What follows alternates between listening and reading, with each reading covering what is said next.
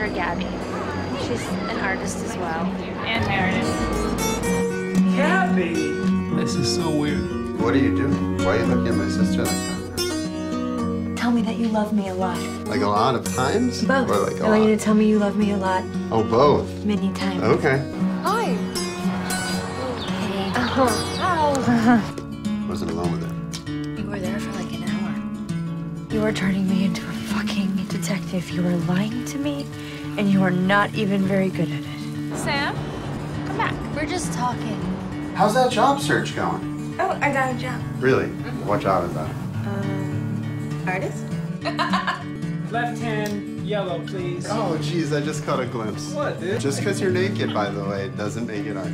I have not aged as well as Madeline has. She looks really great. I thought she'd be dead by now. charles ah! You didn't have to not yelling, you're yelling.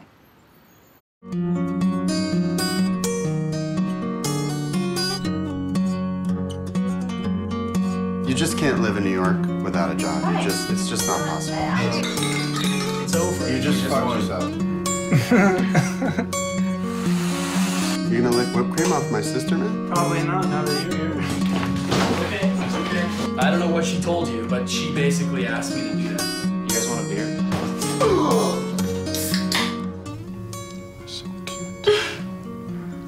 Giving you an opportunity to live with me and be in love.